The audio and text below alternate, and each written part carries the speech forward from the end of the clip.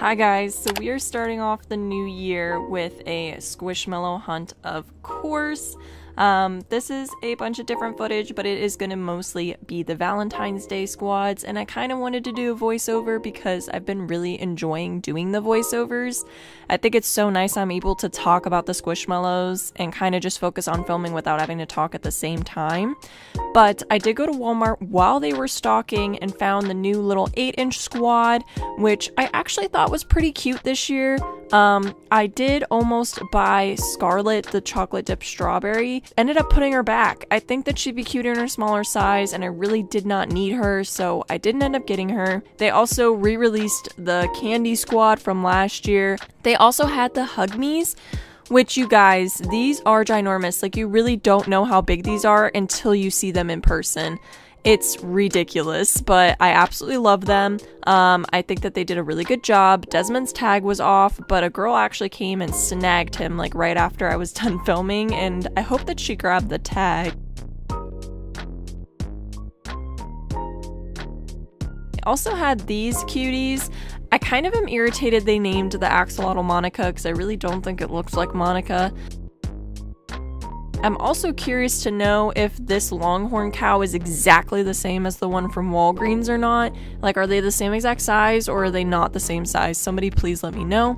And funny story with Fenra, I did buy them, but then I ended up returning them because they're just too lumpy. I didn't like the stuffing and they're also just way too big. I really don't have the room for these, so I did have Fenra for a short period, but I ended up returning them.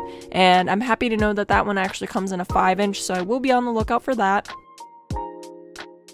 They did have some bins with just a mishmash of squads. Like, I have no idea what was going on here. I really liked seeing Cam, just normal Cam, um, at Walmart. I thought that that was great. But other than that, I really wasn't into anything from this. So, realistically, with the return, I didn't even get anything. But it was really nice to see such a stocked Walmart. A few days later, I actually finally found the Fuzzamallow squad. I have been looking for the squad ever since Squish Alert posted about it, and it never got to our Walmarts until now, so months later.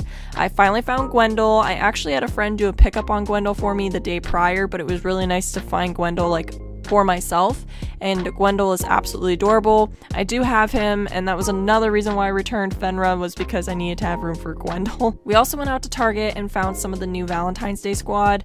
I found it interesting that they released the same HugMees from Walmart in a smaller size, but there isn't like a bigger version of Duster. I also found Pam the pug, which I think is so cute, especially with the little wings.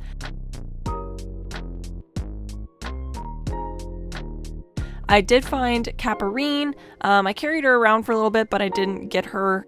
But the most exciting thing was the next day, on New Year's Day, I found what I think is the best Valentine's Day release this year. Like, I think these are the literal cutest things that Squishmallows has put out, these little duo packs, and they're super reasonably priced, like $10.99. This is the only set that I think hasn't like gone up in price by any means. Like you're paying $5 per Squishmallow, and there's such a variety. I, I genuinely am the biggest fan of those. Like, I think they did the best job with those little duo packs. They restocked the HugMees and they also had the Disney stuff, but I didn't end up filming it. Several days later. Okay guys, so it is well after midnight as I'm filming this, but I wanted to finish up one of my Squishmallow videos so that way I could upload one today for you guys. So I want to show you guys everything that I ended up picking up throughout this video. The first thing we have here was actually a gift. I did not buy this, but it is the 26 inch Duffy HugMee because it looks like my dog Evie a little bit and it has the embroidered little hearts on the bottom and the little floppy feet and the brown tail and the eyebrows. Super, super cute my new squish bestie Miranda picked this up for me. And you guys will see her in an upcoming squishmallow hunt that we went on today actually. That's why I'm home so late. But she did gift me this when I was kind of like going through everything so she gifted me that it's been chilling in the living room it has its own chair it has my old office chair in the living room and it's just sitting in it so it's super cute she also did a pickup for me and she found Gwendol the Fuzzamallow pig. Is this not the most perfect squishmallow. Like, I totally get the hype. I totally understand. I'm obsessed with him. He is so fluffy. He has like a slightly kinked little tail. And I just think that he is literal perfection. I'm I'm obsessed. These took forever to come near us. So when she found them, she messaged me and I was like, yes, yes, yes. No question. No question. So I did get a very cute and big Gwendol. I did not know they were this big. I never ever saw the Connor. People bought up the Connor, so I never got to see Connor. From Target, we have the two packs so I did get two of them.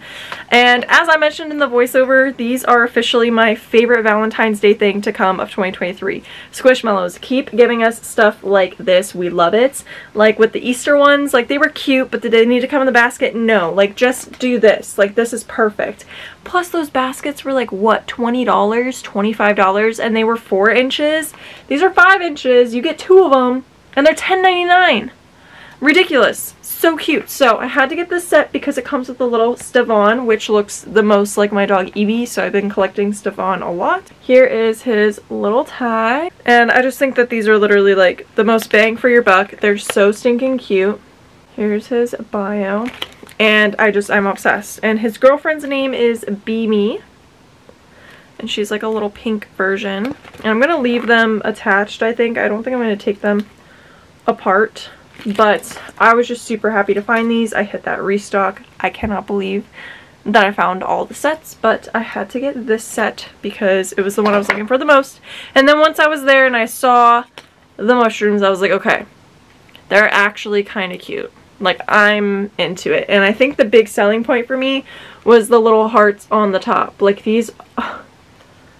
And I used to have a Molly, but I sold her. And so I don't have a Molly anymore and I just think that these are literally so cute. I don't know if I'm going to keep these on the backer or if I'm going to take them off. I just think like like Squishmallows did a fantastic job with these sets. So we have Molly and then we have Molly. How cute! I kind of think his name should have been Sully because he's blue. But that might be like a copyright issue and that's why they had to go with Molly. But Molly and Molly, I mean, they're cute. Are they adorable? I literally, I'm obsessed with them. Those are all of the Valentine's Day Squishmallows for this video. Keep an eye out though because a bunch more is coming. I love you guys. Thank you so much for watching and I'll see you again very, very soon. Peace out, Girl Scouts.